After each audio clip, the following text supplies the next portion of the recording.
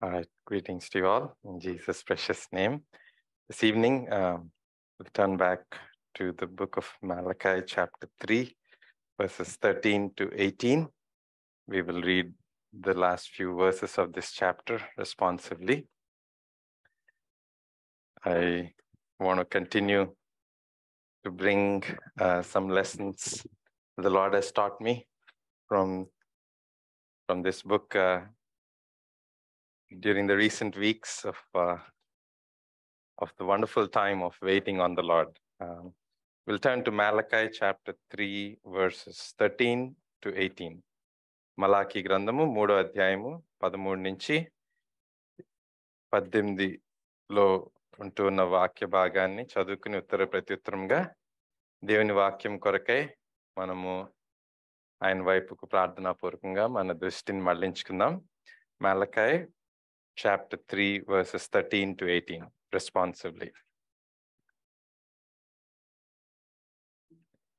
Your words have been stout against me, saith the Lord.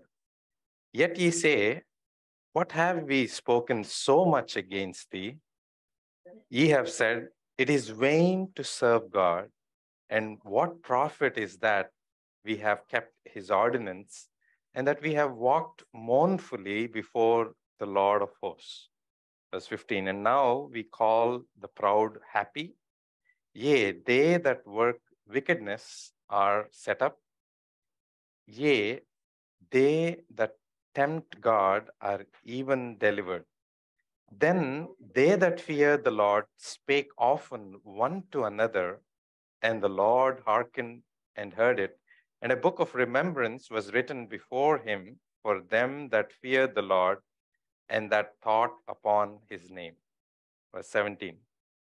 And they shall be mine, saith the Lord of hosts, in that day when I make up my jewels, and I will spare them as a man spareth his own son that serveth him.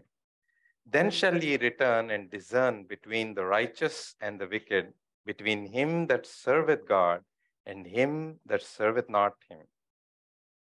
Shall we pray and look to the Lord? Our loving Heavenly Father, we thank you. We praise you for the privilege of coming together and worshiping you, the true and the living God, the exalted one, and yet the humbled one,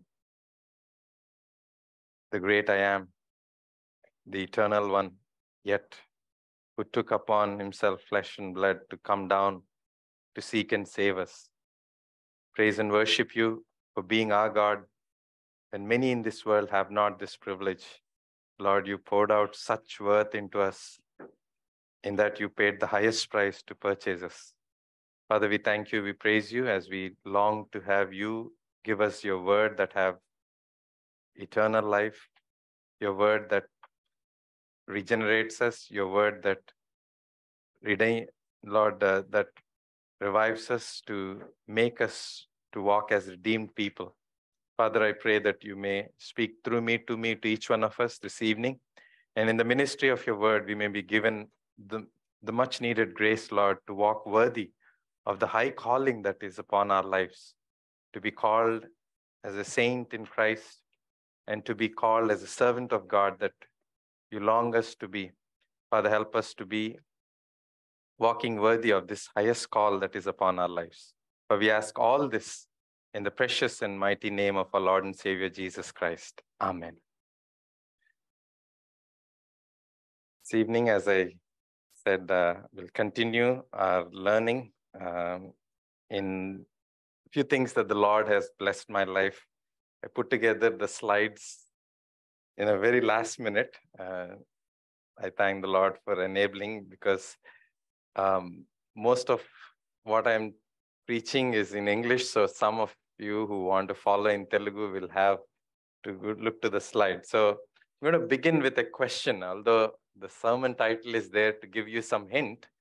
Um, the question is, what is the most valuable object and its approximate worth in this in this whole known world and creation what is the most valuable object and its approximate worth.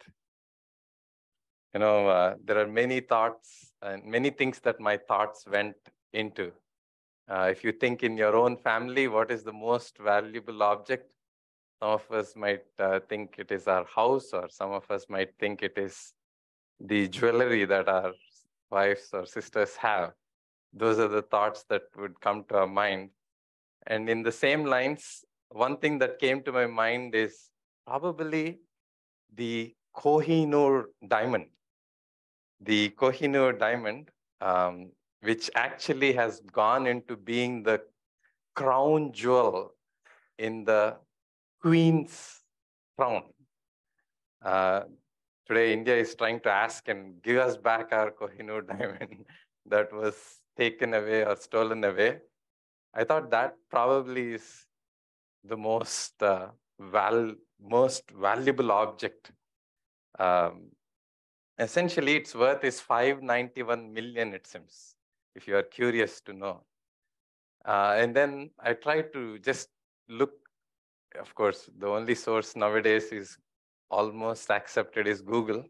Uh, we don't kind of go around much apart from that. And it turns out the most valuable object that is in the whole world, according to Google, is not even the massive rocket that recently had been launched on a lunar mission that is called NASA's Artemis, the lunar rocket. Some of you physics and uh, science students, this is just worth about 10 to 20 billion dollars, it seems. Uh, this is more than 560, 591 million. Um, but uh, even that rocket is like $20 billion at max. But now, the most valuable object, according to Google, is that the International Space Station. It is valued at the worth of $150 billion uh, as, a, as a worth. And uh, we all know it is a work of many nations coming together to kind of have a station there and to monitor whatever is coming towards Earth and whatever that needs to kind of help life upon this Earth. Um, so International Space Station, Antarjatiya Antariksha Stavaram, that is the most valuable object according to Google. Now, that said, um, according to the word of God, now coming to the true most valuable object that you and I should be taking note is the washed and cleansed saint in Christ. We all know the verse in First Peter chapter 1, verses 18 and 19. It says that you and I have, if you and I are in Jesus Christ, we are not redeemed. We are not redeemed by the corruptible things. The reason I could say safely is that a believer, a child of God, a saint in Christ, is more valuable than any other item that Google might list, is because all those things are corruptible things. The Bible itself says in verse 18, For as much as ye know that ye are not redeemed with corruptible things. A day is going to come, as much as the International Space Station is valued the highest, it's going to corrupt. It's going to be no more. I mean, even the earth and the sky and the heaven, and they too will be gone. The first earth, as, as we read in Peter, Second Peter chapter 3, um, verses 10 onwards, the day of the Lord, as it says, is going to be like it's like a thief in the night, and heavens shall pass away with great noise, and the elements that melt with fervent heat, and the earth also, and the works that are therein shall be burned up. These are all corruptible things. As much as man takes so much pride in what he has built, there is a day where not just those things that were built, but even those that we are upon and those that we are under, they will be burnt up and will be gone. And so So they are called corruptible things. And the Bible says, Ye are not redeemed with corruptible things as silver and gold from your vain conversation received by tradition of your fathers. But verse 19 it says, But ye are, but with the precious blood of Christ. He compares with silver and gold because in the times of Peter, they are the most valuable things. Beyond that, people had nothing more. You can see in the times of the biblical times, gold and silver is the most valuable thing, but they still are mm-hmm. corruptible. And then he says, You've not been redeemed or bought with just corruptible things, but incorruptible or precious blood of Christ as of the Lamb without blemish or without spot. And so you can, you and I can safely say that the most valuable object in this world is a saint in Christ, Kristulo Parishududu, a servant of God. Because a servant of God, as we would take and look in Malachi chapter 3, verses 13 to 18, it concludes by saying that you and I will come to understand the difference between him that serveth God and him that serveth him not. And uh, so we're going to understand this, uh, this truth about an invaluable God who is valuing us. What is the valuing that God does upon us as those that are redeemed by the blood of Christ? ఘనమైన దేవుడు మనలను వెళ్ళకట్టే విధానాన్ని మనం అర్థం చేసుకుంటూ ఉంటాం అయితే దాంట్లో there is a calling that we are going to be challenged with. Uh, it's not so much about just trying to understand what God is doing in valuing us as we were just taking note of how much worth He says that you and I are so valuable in sight of this invaluable God, so infinitely worth God, He is valuing us. These lessons have been learned in the context of last, last time when I touched in Malachi chapter 3, I was bringing to us a changeless God changing us. In verses 1 to 12, it is centered in, in verse 6. We read, For I am the Lord, I change not. Therefore, ye sons of Jacob are not consumed. We have a God who is unchanging, immutable. He's the same. And so, if He is changing us, that change is going to be so beautiful, so wonderful. And we saw of in verses 2 and 3 how, how, how he is like a refiner's fire, how he is a fuller's soap in gently and powerfully changing us inside out. And that's our God. And if he is changing us, when all circumstances change, when things that we think are stable and good, like our jobs or like our health, like our families and everything, we think that is a good state. But beyond that, when things change, when we are shaked, we ought to take note that we are in the hands of a God who is changing us. He is a one who is refining us, who is cleansing us. And so it's a blessed thing. That's what we saw in the conclusion of that message, Malachi chapter 3, verse 12. And all nations shall call you blessed, for ye shall be a delightsome land, saith the Lord of hosts. If a changeless God is working on you, changing you and me, you and I are blessed. And such is our privileged portion that God has given us to be in the hands of a God who changes not, but yet changes us patiently, gently, continually, working to that end goal to see his own image in you and me. We saw that all. Now, we were going to look at this very challenging portion. If you were to be, look at the very first verse, you would be challenged. Verse 13 God has an accusation in this portion in verse 13. He says, Your words, your words have been stout against me. As we consider this, I want to give a brief outline for this few hmm. verses.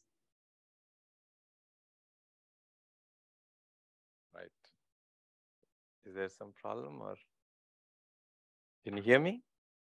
No? Check, check, check. Check. Yes, you can hear me now, I think. Yeah. So I just want to give a brief outline in these few verses 13 to 18. The first one in verses 13 and 15, we see our God is a God who listens to our proud words.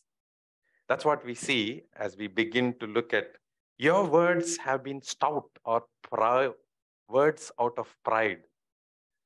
This is an accusation that God brings upon God's people. You want to understand what this, this complaint of God is and what he means by making us to be aware of this. So the first part of this portion is he listens. A God listens to our proud words. A God listens to our praising words or our praise words. We, we read in verse 16 that he makes a book of memorial out of the words that come from people who praise him. We're going to look at that.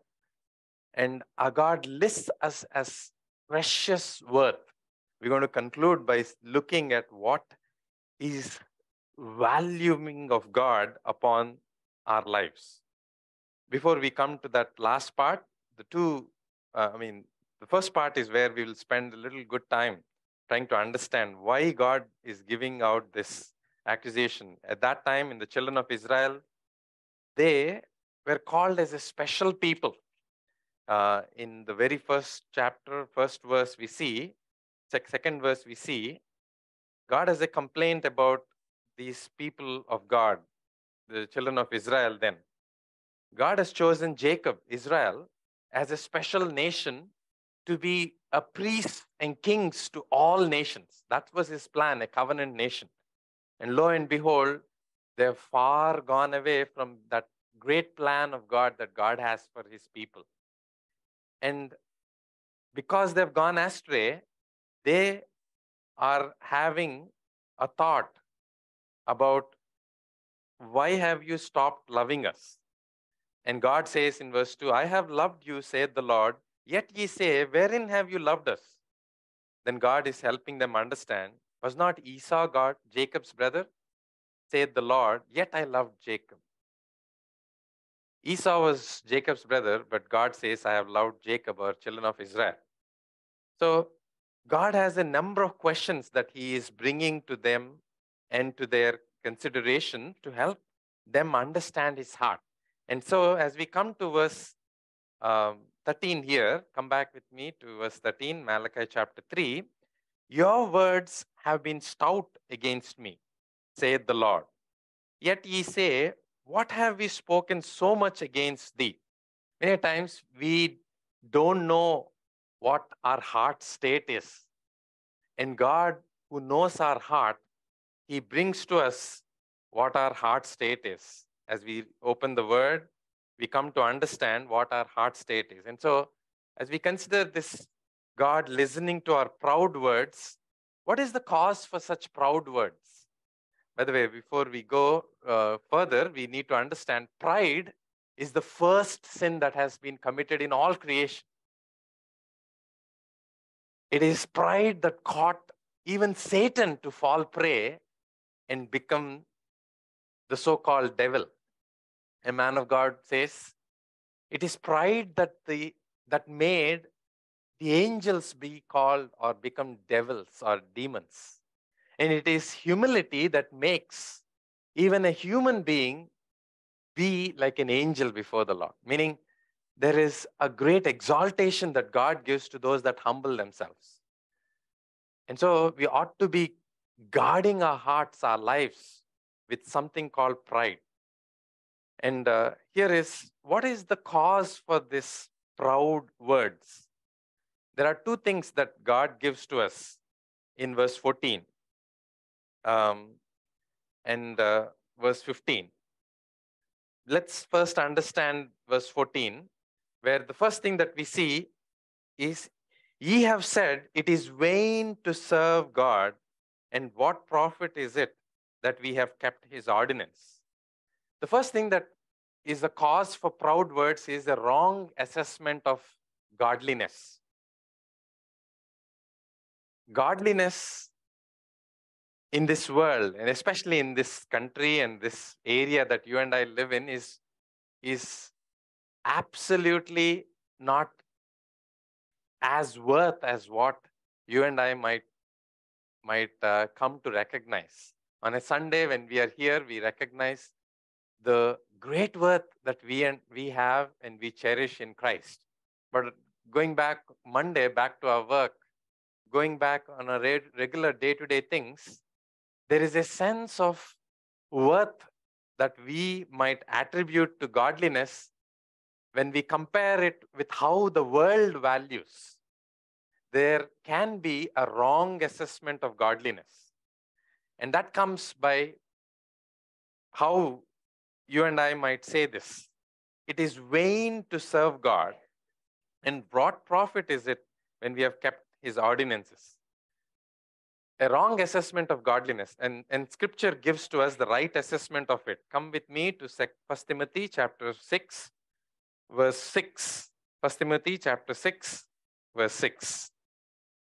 Even in the early church, Paul saw it fitting that there are those who may make godliness for a low for, for a low profile gain of this earthly gains.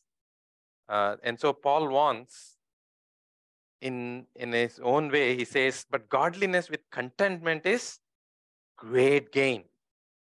Godliness is great gain. Even in chapter 4, he goes about to say that there is great blessing in verse 7 but refuse profane and old wife fables and exercise thyself rather in unto godliness. Now, when we think about godliness, often our thought process is how we behave, how we conduct ourselves.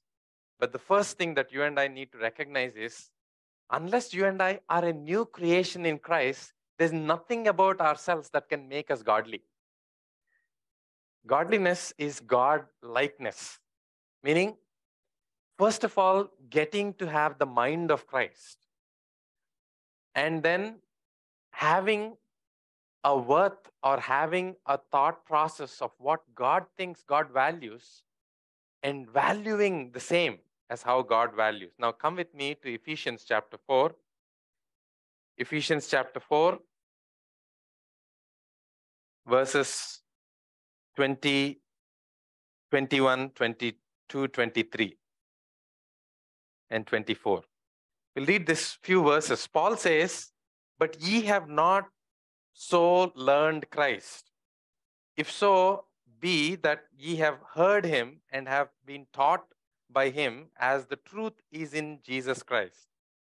That ye prof ye put off concerning the former conversation of the old man, which is corrupt according to the deceitful lust, verse 23, and be renewed in the spirit of your mind, verse 24, and ye put on, in that ye put on the new man, which after God is created in righteousness and true holiness. The first step to godliness is you and I should become a new creation. There is no godliness in trying to become outwardly keeping the commandments or learning the scripture portions and trying to follow Christ, which is what we read in verses 19 and 20 and 21. You might hear God's word. You and I might learn so much of God's word and try to follow it, but godliness doesn't begin there. It is always, unless you and I are broken in our pride to recognize how haughty we are, how we value what God values how different our value system is. Our value system is based on the net worth in this, in this country, in this place. What is the net worth? And even when we go about introducing ourselves, we would say, I'm so and so, and I work here. Our usual thought process is our net worth or what we are making or what we are owning, what we are possessing. That is what is valued by people that we live with. And you and I are not to be valuing the same way. The value system of a believer and the value system of the world is totally different.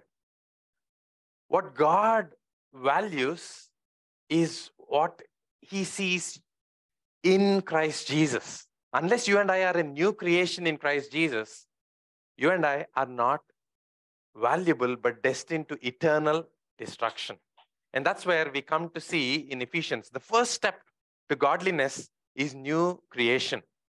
In Ephesians 4, verse 23 and 24, it says, 24, last part, which after God is created in righteousness and through holiness. We read in 2 Corinthians chapter 5, verse 17, it says, Therefore, if any man be in Christ, he is a new creature. All things are passed away.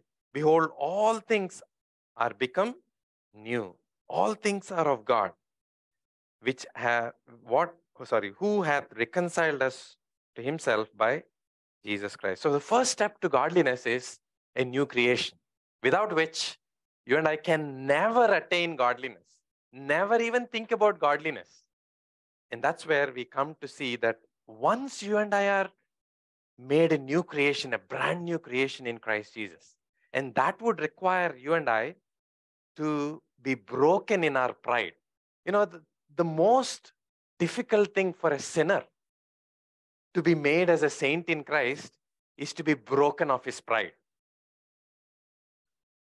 The reason for people to reject Christ and the gospel message is that they would have to humble themselves and reject themselves of all that proud thoughts about themselves and then utterly come bankrupt and poor before this holy and a great God. That's where people stumble. And unless that step of brokenness is brought to be brought as new creation, that God makes us in Christ Jesus, there is no room for godliness. And that's where the right assessment of godliness begins. And as soon as you and I are made a new creation, you and I recognize the value of coming to worship this true and living God. We were reminded in the morning worship in Jeremiah chapter 10, verse 10. We recognize that there is one true God before whom even the nations tremble at his indignation. And they cannot stand before his wrath. And when you and I recognize that we are completely naked and bankrupt before such a holy and a true and a living God, you and I would still be proud about what worth we are in our own wrong assessment. In Jeremiah chapter 10, verse 10, we read, But the Lord is the true God. He is the living God and an everlasting King. At his wrath, the earth shall tremble, and the nation shall not be able to abide in his indignation. Such is this great and an awesome and holy God. And unless he gives any worth, you and I have no worth. Man, we will look at it in the worth that the right word that God has given in the later uh, section. Uh, it is the word that God gives in making us again a brand new creation, we have the right worth and value. And unless we recognize that, you and I would have a wrong assessment of godliness. And coming back to Malachi chapter 3, they have come to see how much people are gaining by serving God. What are they earning? Oh, they are not earning much. Even today, we live in a culture where people look at what you are making by the work that you're doing. If you're not making much, oh, that work is not valued as much. But the truth is, God's assessment, God's valuing system is completely different from the world system. And there he comes to say, the people of God have come to say that it is vain to serve God. It is what profit is there that we have kept his ordinance? It is vain to obeying God. Those were the thoughts that people had as a wrong assessment of godliness. The second reason for proud words is wrong assessment of worldliness. This is another direction. Apart from godliness, worldliness is also wrongly assessed. How do we wrongly assess worldliness? We read in verse 15 And now we call the proud happy. The, the people with proud hearts, గర్వపు హృదయాలు కలిగిన వారు ఆశీర్వదింపబడినవారు అనేది the world says that. The world assesses it that way. That's why people don't humble themselves. People who live with us, who work with us, who uh, are living in our neighborhoods, they look at what they have and they, their hearts are swelling in pride of what they are making, whom they are working for.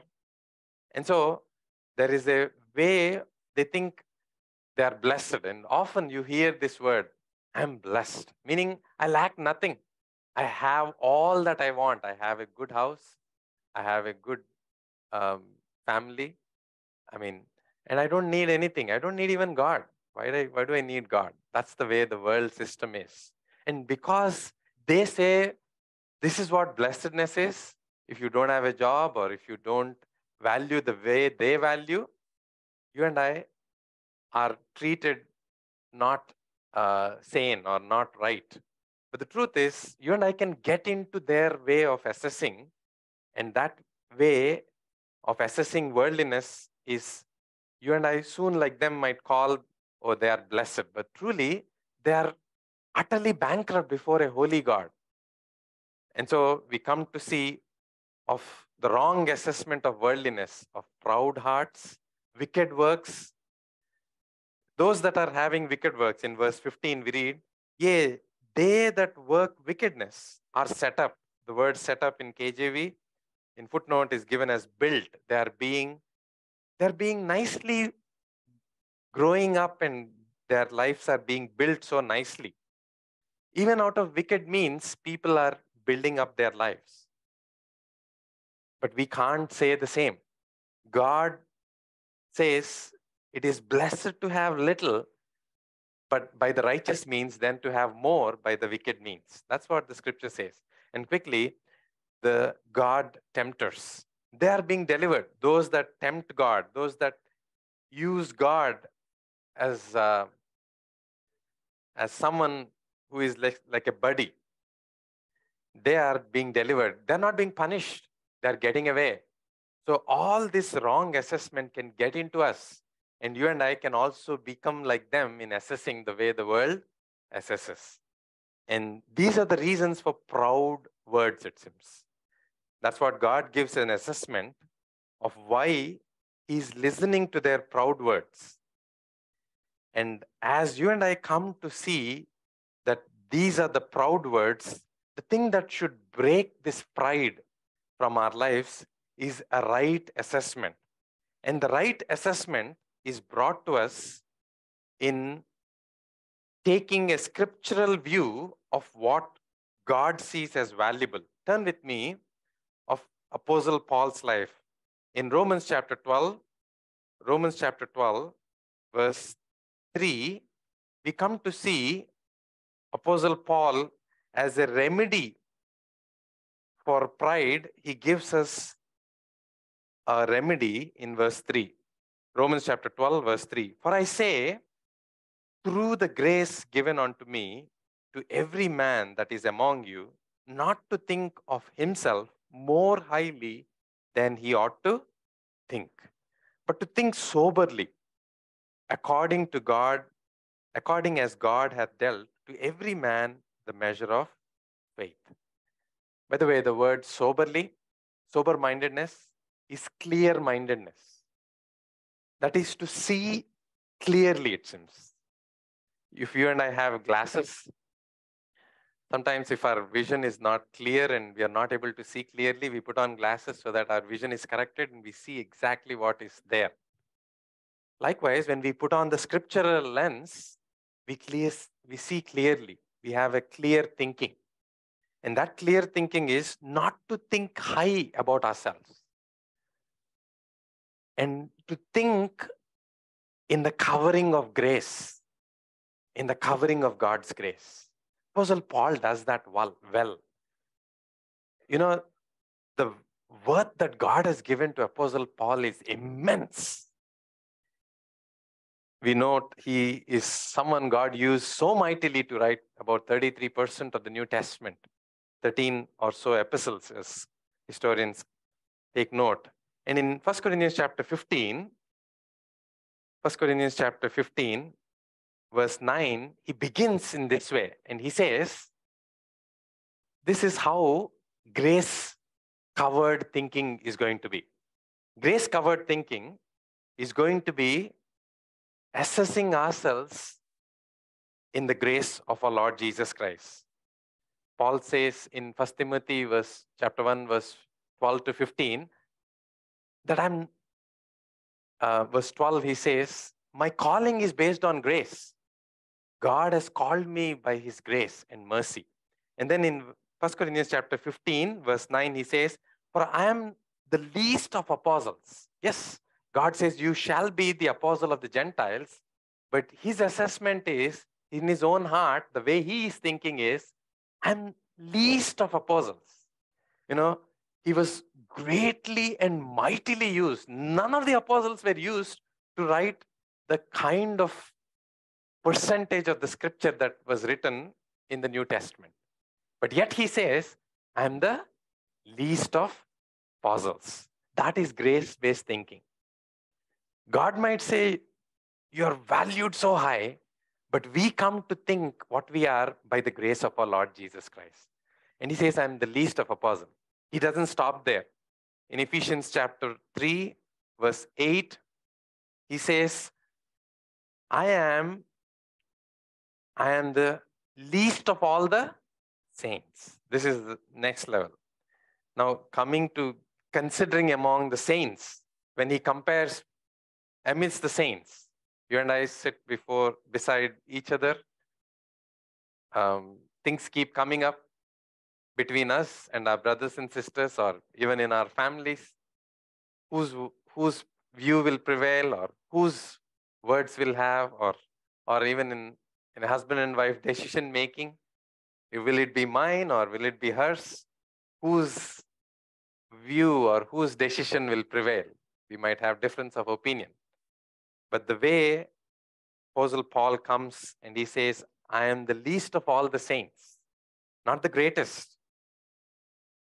And not only there, he comes in 1 Timothy chapter 1, verse 15, he says, I'm the chief of all the sinners. That's his assessment by the grace of God.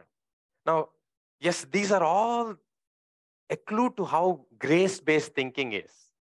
Krupa కృప ఆలోచన కృపా యుక్తమైన ఆలోచనలు ఈ రకంగా ఉంటాయి. మరి అపోస్తుల్లో తక్కువ వాడను పరిశుద్ధులలో అత్యల్పుడను అండ్ దెన్ పాపులలో ప్రధానుడను.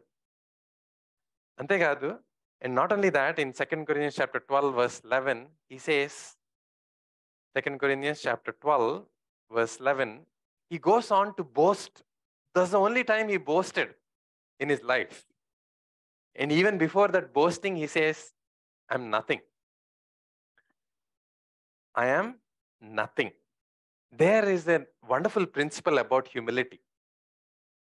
Humility is not saying, not only saying I'm nothing, or even trying to say I am this and that, which is which is required in our lives. To not to think high, you need to think low about ourselves. But humility will go to the extent of not even thinking about yourself. Not even thinking about yourself. That's why he says, I'm nothing. Nothing is really nothing. Have you ever thought it is something? nothing is nothing. I'm not even worth thinking about myself. That's what he says. In 2 Corinthians chapter 12, verse 11, the last part, he says, he's thinking, I am nothing. I'm not even worth thinking of, of myself. And that's the way he boasts. Yes, he boasts in his infirmities, he boasts in the suffering that he had for Christ. And he says, I am not less than any of the chiefest of the apostles, but he's not comparing with the real apostles. They were false apostles who said, We are chief super apostles. That was the title. Nowadays, we have in, in India, everyone wants this title apostle so and so, prophet so and so. Nothing less than apostle is the is the title that they keep. And in such a time as that, Paul was not actually comparing with true apostles, but they were these false apostles who call themselves as super apostles. And then with comparing with them, he says, I'm not least to be compared. If you want to compare with these super apostles, these false apostles, I'm nowhere least. I suffered more than anyone. And then he goes on to boast. But even if before boasting, he says, I am nothing. And so in humility, we come to a point to not even think about ourselves because we will be captivated by this God who is infinitely worth being caught up in his awesomeness, that we would have no more room to think about ourselves. And when you and I are filled with thoughts of him, the next thing that would come out of us is not proud words, but praise words, it seems. And that's where we come to as we move to Malachi chapter 3. Malachi chapter 3, verse 16. We come to see that the praise words, the cause for praise words, is two things that Paul, uh, that Malachi lists in verse 15. They that feared him. మలాకి మూడు పదహారులో ఎందుకు ఘనపరచు మాటలు వస్తూ ఉన్నాయి? దేవుణ్ణి ఘనపరచు మాటలు గల కారణం ఏంటి అని చెప్పిస్తే ఆయా ప్రజలు దేవునికి భయపడువారు. They that feared him and not only they that feared him but they will come to look at what that means those that thought of him we read that in verse sixteen the last part They thought of his name.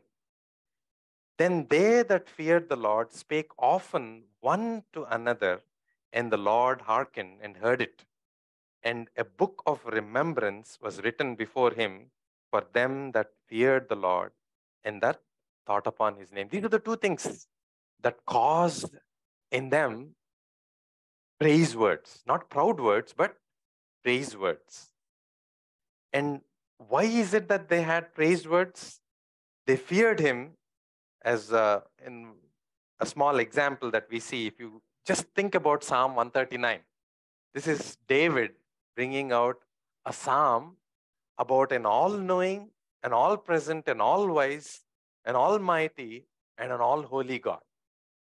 Psalm 139 is captivated with the thoughts of God that gives to us the right assessment of God. This is the God that you and I come to. He is an all knowing God. David was totally captivated by this all knowing God. Where can I go from you, who is an all present God? Wherever I go, you are there whether you are in a church, whether you're in a workplace or you're in a home, you are everywhere there. And so he was captivated with the thoughts of this awesome God who is an all knowing God, an all wise God, an all present God, an almighty God, and an all holy God. When he thought about this, he says in Psalm 139, verse 13, one verse there he says, Psalm 139, verse thirteen and fourteen. నీవు నా అంతరింద్రియములను నా అంతరింద్రియం నీవే కలగ చేసితివి నా తల్లి గర్భమందు నన్ను నిర్మించిన వాడవు నీవే. నీవు నన్ను కలగ చేసిన విధము చూడగా భయమును ఆశ్చర్యమును పుట్టుచున్నది. అందును బట్టి నేను నీకు కృతజ్ఞతాస్థుతులు చెల్లించుచున్నాను. When you and I think about this awesome God, an all knowing, an all wise, an all present, and an all creative, all holy God, like David, praise will burst out of our, of our hearts, of our mouths. I will praise thee. Verse 14 I will praise thee, for I am fearfully and wonderfully made. When you and I recognize the worth and have a right assessment of this great God, we would fear Him and we would praise Him and think of Him. Our thoughts are going to be are going to be captivated by him. There'll be no more room for our, our thinking about ourselves, it seems. That is true humility. Where, what worth is there to think about me when there is this awesome God, so full of all of attributes that we see briefly here in Psalm 139. So praise comes from our lips, our hearts. And when we have a right assessment of God, and also when we have a right assessment of ourselves. Um, in, in a way, God's people need to have a right assessment. David recognizes whatever worth that he has is what worth that God gave him, not what the world gives him. World sees him as a king. He's made a king of Israel, but he is not saying, I am the king. Psalm 145, verse 1 I will extol you, my king. He is lost in the king of kings rather than he being a king. Such is the portion of God's people that you and I come to a right assessment of him and a right assessment of ourselves. I am fearfully and wonderfully made in his own image. God's people are valuable by the worth that God poured out into you and I. And the worth is, He has said, I have made you in your in my own image. There is no greater worth that a human being can have apart from the worth that you and I are made in his own image. And that's why it's a matter of his, his great love that this infinite word that God gave in creating an, in his own image is probably a clue to why he would even step forth to redeeming us. Sometimes you and I wonder there are the angelic beings as well who have been made by God, who have sinned just like us, who have fallen and have rebelled just like us. But what made God to step down and come and redeem us, but not them? I would not be able to comprehensively say, but a clue, a, a hint that we find is that you and I are made in His own image. Who is a man or a woman who would not do anything for his own or her own children? I mean, yes, even as fallen as we are, we are going to do whatever it takes to rescue our children, right? So worth, so much of worth that he poured out and says, you and I are made in his own image. Now, yes, that's not just the word. He, has given his own life to remake us in his own image. When we marred his image in sin and rebellion, he comes and says, I'm going to come and remake you, redo you again in perfecting that image that you and I are being restored to in the fullness. And so when you and I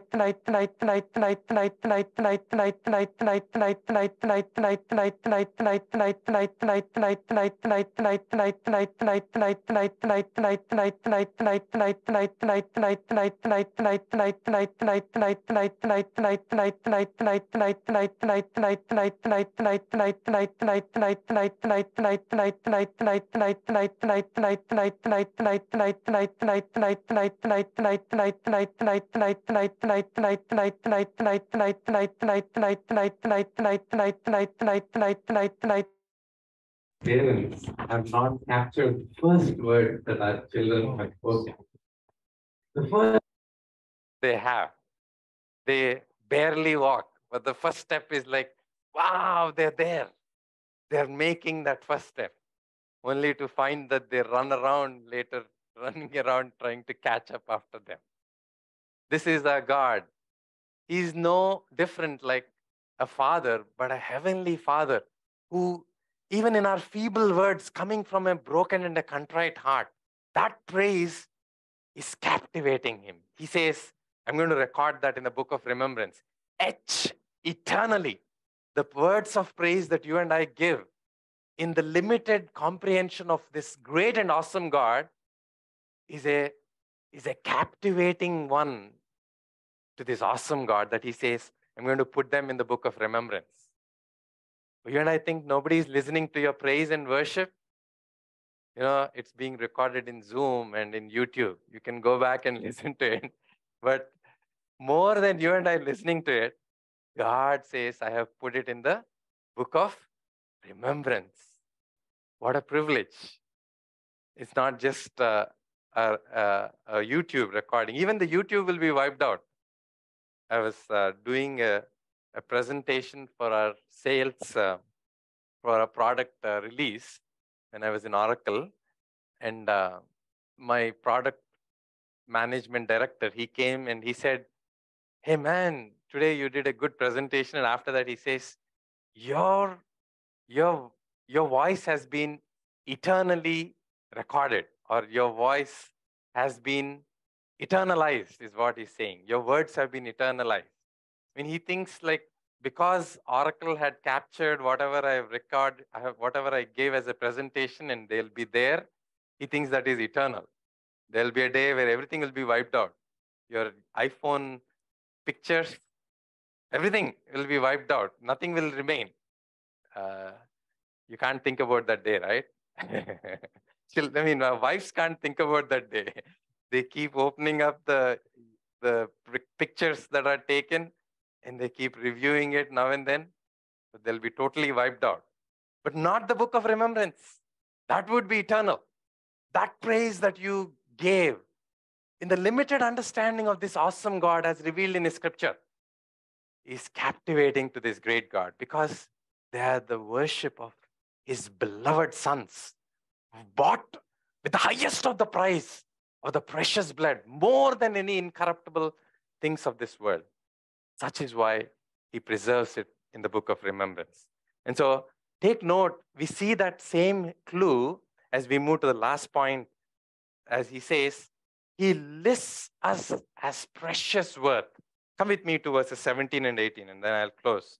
Verse 17, he says, as a proud father, I would say, as a father who is possessive, not a proud father, by the way, in the sense he's very possessive. What is what does God say about these people who feared him, whose worship he records, whose words he records? He says, and they shall be mine, saith the Lord of hosts.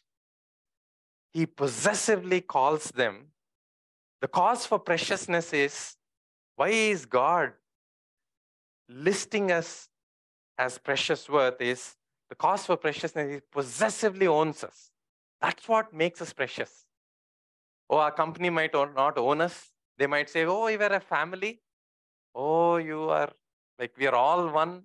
Today they'll say that. In the next hour, they'll say, who are you? I mean, not even give a chance for us to say thank you. But that's not our God. He possessively owns us onto eternity. You belong to me. You're mine. None can say that you are anybody else's. That's our God in how possessively He values, and that's why we are precious. We read in uh, Deuteronomy to the same children of Israel, uh, the last verse of chapter 31, Deuteronomy, turn with me quickly. Uh, Deuteronomy chapter 31. Sorry, Deuteronomy chapter 33, verse 29 and 30. 29. Happy art thou, O Israel, who is like unto thee, O people saved by the Lord, the shield of thy help and who is the sword of thy excellency, and thine enemies shall be found liars unto thee, and thou shalt tread upon their high places. ఇస్రాయేలు నీ భాగ్యం ఎంత గొప్పది హోవా రక్షించిన నిన్ను పోలినవాడెవడు that's the worth that God says when He says, You are mine. And then quickly He says, He not only possessively owns us, He treasurably spares us. Coming back to Malachi chapter 3, verse 17. We talked about Kohinoor diamond, right? You and I are more worth than Kohinoor diamond.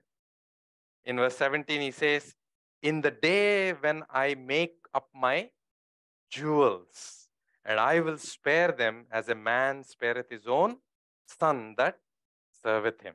You're not only the son of the Most High God, the daughter of the Most High God.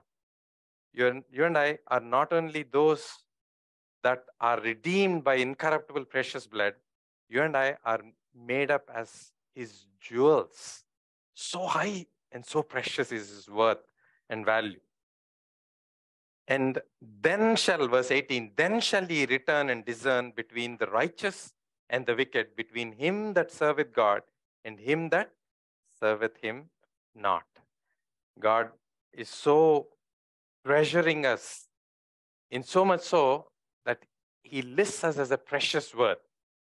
When you and I serve God, God gives us this privilege to be occupied in this world. This is a small lesson that I've learned in the time of the short break that I had. You and I don't get much breaks in this world. As a child of God, if you get a break, be occupied. In uh, these two verses, this is what I've learned throughout my, uh, my, my times of breaks. Luke 19, verse 13, um, occupy till I come, is what the master says as he gives certain talents and gives them to invest and to be working with. And in Matthew 20, verse 6, he says, Why have you been idle all the day long? A child of God, a servant of God, is not to be idle. They are to be occupied in the master's business.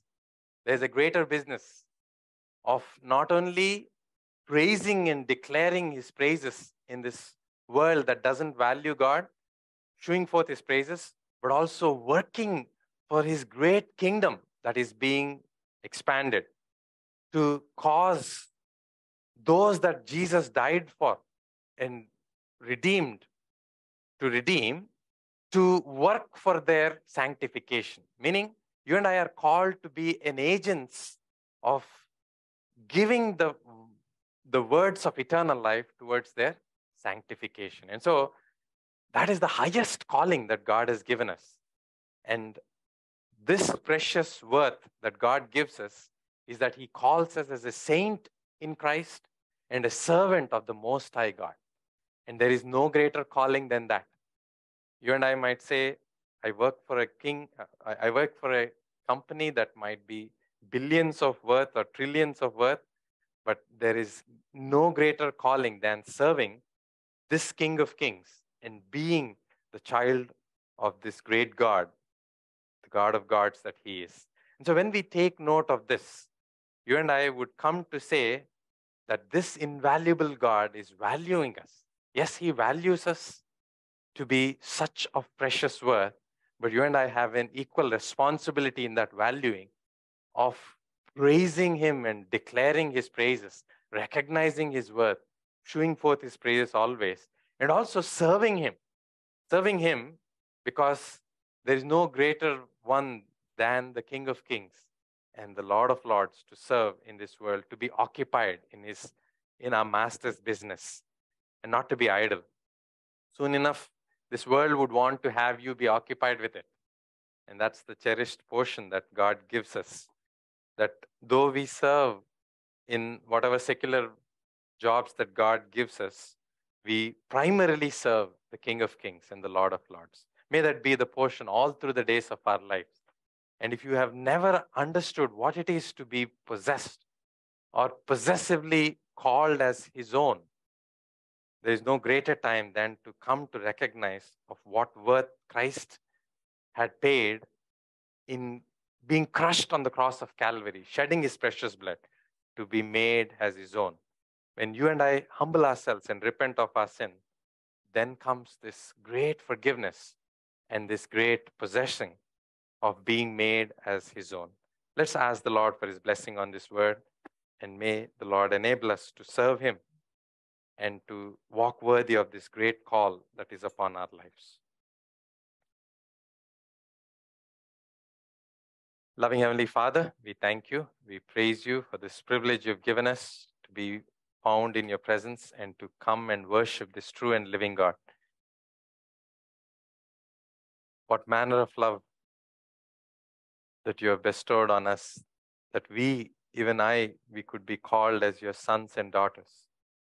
Father, we thank you for the highest price that was paid in the blood that was shed for the redemption of our souls and to make us your own. Lord, what is man that thou art mindful of? Yes, Lord, it is you who made us in your own image, fearfully and wonderfully. And greater love hath no man than this, that one would lay down his life. And thank and praise you for the precious love demonstrated on the cross of Calvary.